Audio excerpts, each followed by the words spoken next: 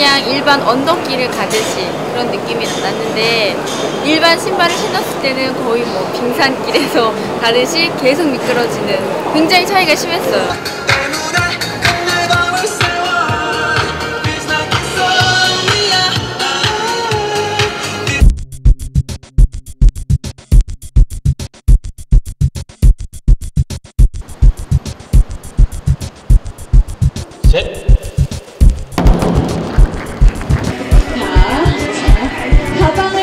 가지고 드릴 건데요.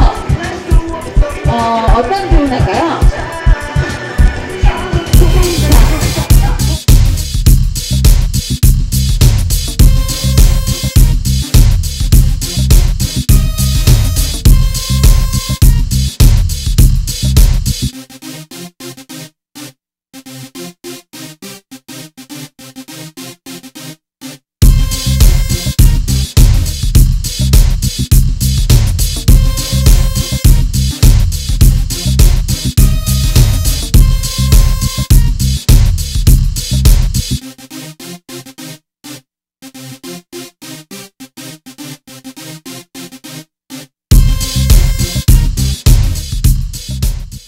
그리고 저희들은 그 이 정마적 개수는 어, 건식으로는 저희들이 현재 테스트 결과에 어, 1.6 정도의 어떤 결과치를 가지고 있고요.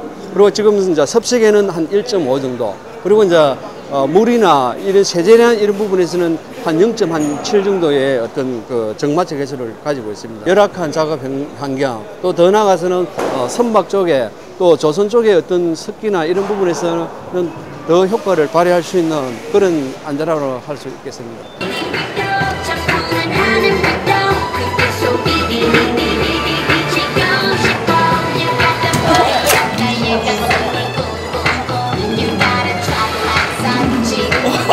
got the boy You